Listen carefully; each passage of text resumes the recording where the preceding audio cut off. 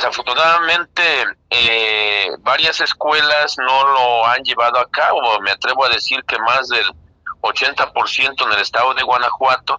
han estado adoleciendo de esta estrategia didáctica para que los alumnos aprendan. Entonces, yo te comento, en la secundaria vamos a hacer la partida cada